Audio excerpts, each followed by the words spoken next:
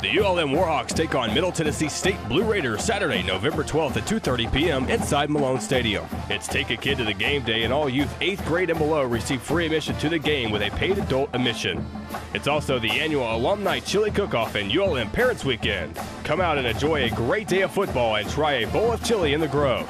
Call the ULM Athletic Ticket Office today for more information or visit ulmwarhawks.com. Go Warhawks!